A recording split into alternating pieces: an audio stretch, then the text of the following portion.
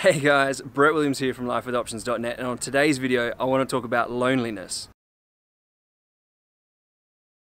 So this is a topic, like many topics that I talk about, is something that's close to my heart and it's something that I think a lot of people just feel as though they are the only ones that actually experience it. One of the things that I find most fascinating about this particular topic, and it is something that still brings me to my knees at some times where I fall into the trap of feeling lonely, is the fact that we live in a world that is so full of people, but yet we can still feel so lonely and isolated. Like I know that's not an uncommon thing and I know there's many other people that experience that as well. And I think with the level of connectivity that we have with social media is probably having an impact on that to make us feel even more lonely at times because we're starting to put value on how many likes we have on a photo or how many comments we have on a video, these sorts of things. And when you really start to fall into that trap, and I know myself, there's times where I'm, you know, I'll post a photo just to try and boost myself back up and feel a little bit of a euphoric sort of kick that I'm appreciated. But yet at the same time, the satisfaction of loneliness doesn't start from the outside. It doesn't start on this thing. It doesn't start with scrolling scrolling all through and actually getting those likes and going, oh, like, like, like, yay, making me feel better. No, it's got nothing to do with that. Combating this idea of loneliness starts inside, starts in your heart, because it comes back to being connected with yourself, understanding who you are, and and loving yourself. See, when we're not loving ourselves enough, we're starting to look at outside things to be able to fulfill that void within ourselves. There's a couple of things that I want to dive into as to how I get over feeling lonely. Now, moving from Perth to Sydney a couple of years ago was probably one of the biggest, most challenging challenging things that I've personally done. And I know there were many, many nights where I was sitting in my room alone and just feeling like I was alone and feeling so isolated. Part of that was also my own creation and I consciously chose that. But at times there was a lot of points where it wasn't. It was just an outcome of the situation that I had created. Now, granted that situation was created consciously, so I guess at the same time, I'm still to blame for it.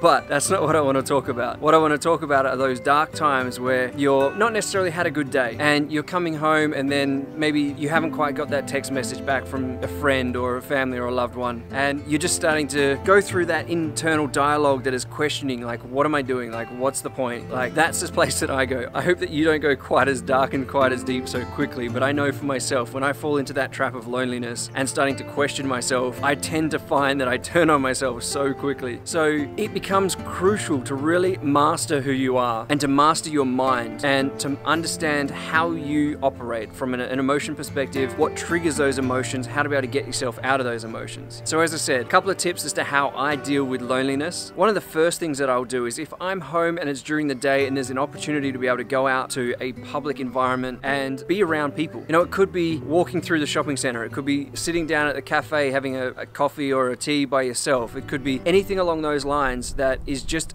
having you be around other people because simply by doing that, it's going to start to impact your perception of this idea of loneliness. Okay, sure, if you're still in that dark place, you might sit there and go, oh, everybody's got somebody they're sitting with and I'm sitting here by myself. No, that's not, that's not the way that we want to go down here. And I know for me that I've been there before as well. So if you've gone down that path, I get it, I relate, I understand. Be easy on yourself, love yourself and be gentle. But what I'm talking about is just realizing that when you start to shift out of that dark, murky of loneliness, when you're sitting there and you see all these other people around, you get to see that you're not truly lonely. Like, you're not the only person walking around this planet. And I can promise you also, you're probably not the only person walking around this planet thinking that you're the only person walking around this planet. So start to find that compassion for yourself and start to realize that this is something that you've created. Ooh, that was a bit of a juicy one. Let's go back there. So if you're feeling lonely inside, and I say this with love, understand that you have created that. See, when you start to understand that you are the creator of that lonely feeling, or even just isolating yourself, when you can really understand that that is the case, you get to realize that you can get yourself out of it. And I said, maybe that getting out of that energetic funk is just to go and walk down the park or to go down to the cafe or anything like that. I can promise you it's generally not going to have the same impact by posting a photo on social media and hoping that people like it because I can assure you, if your internal dialogue is anything like mine when I'm in that state, you know, I'll put up a fantastic post and you're sitting there waiting for it, refresh, refresh, refresh, refresh, just waiting for somebody to like it so that you could have that internal boost of confidence, of happiness, of validation from the external world. I can assure you that those likes never come through as quickly as you want them to. So that's not going to be where you're going to find that solution to the loneliness. At the same time, another option that I tend to choose to do is that when I am in that space and I'm not too sure what is going on for myself and I'm feeling lonely, I recognize for me that there is a lesson in this to be learned for myself. Because as I said, if you're feeling that sense of loneliness, then there is a void within inside yourself that you have created. So what I like to do is grab out a pen and paper and just start to write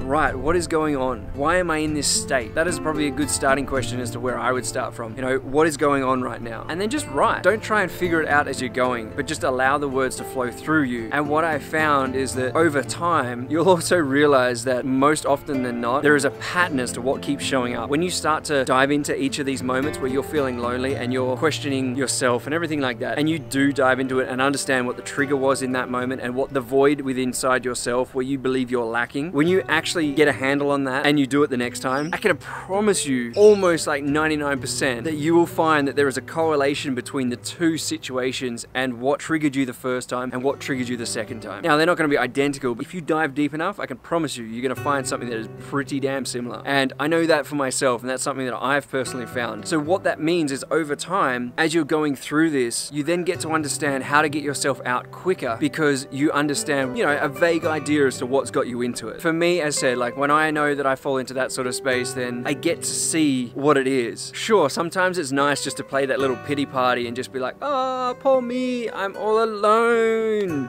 But this is the other thing. When you start to build that conscious awareness around knowing how you are triggered and everything like that, it becomes irritating knowing that you're just feeding that validation as to why you feel loneliness when you know that you know better. Nine times out of 10, you're gonna pull yourself out so quickly. There'll be a couple of times it might get you a little bit longer, but you know, you're gonna pull yourself a lot quicker than what you would do before you've actually started to understand what's triggering you. And I think this is the key. And this is what I talk about in the Path to Self-Mastery program, which you can go and check out on here and go and grab those four free videos to it. It's all about understanding you, as it is self-mastery. So self-mastery is all about understanding what triggers you, understanding what the emotional response and reaction is to all varying things around you and the environments in which you're in. Because when you can understand it from a conscious level, then you're not unconsciously reacting to the world. You get to consciously create your life. And this is why I want to talk about loneliness, because I also believe that there's so many people out there that think they are the only one that feels lonely. Now, I was having a time a couple of weeks ago and I reached out to a friend and we're just having a bit of a chat and they went, you know, how are you? And I just went, instead of just saying, yeah, I'm good, I thought, no, I'm just gonna be open. I'm like, I feel really lonely at that moment. And my heart is really longing connection. And is sharing that with that person, they were also shared back to me that they had been feeling similar about a week or so before. So even in that conversation, I got to realize that I'm not the only one that experiences this. Even though I've got many other experiences that tell me that I'm not the only person, but I do believe that we walk around in society these days thinking that we are the only ones with all of this shame, baggage, um, all of the feelings and emotions that are coming up for ourselves, and that they're the worst of the kind. I think loneliness is something that is one of the major things because I think loneliness is a pathway from that happy place to that really, really deep, dark place. And if you can catch yourself in the middle in that space where you're starting to feel lonely, then you can avoid falling down into those deep, dark places where those terrible thought processes come along. Obviously, regulate yourself back to that happy state, which is where everything starts to show up for you and everything starts to work out for you. So, on that note, guys, if you got any value out of what I was talking about here around loneliness, put a comment below. I'm curious to hear what was the key takeaway from this particular video? I'd really love to know and at the same time if you did get that value by all means share this video with your friends make sure that they get the same value as well or they might find something else out of it. No matter what I appreciate the support and if you're watching this video on YouTube then make sure to subscribe to my channel so that you get all of the updates that are coming along as well and as always guys like it share it comment it show it some love and I'll see you on the next video.